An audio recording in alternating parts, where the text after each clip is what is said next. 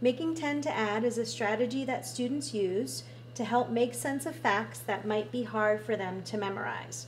So for example, if a student wanted to add 7 plus 5, they might use this 10 frame and put out 7 chips and then 5 chips and they would have 7 plus 5. An easier way to add 7 plus 5 would be to make a 10.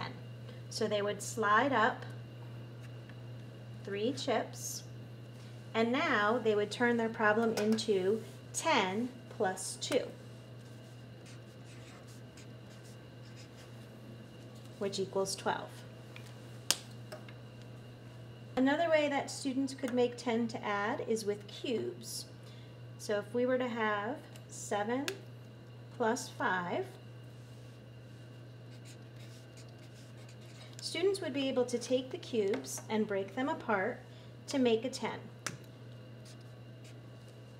So they would take three cubes and add them to their seven cubes, and they would see that they had two left over. So they would know that 7 plus 3 equals 10, and 10 plus 2 equals 12.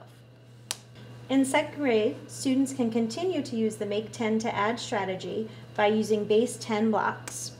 So if a student wanted to add 47 plus 15, first they would create the 47 with the base 10 blocks and the 15, and now they would make a 10 by breaking apart the 15.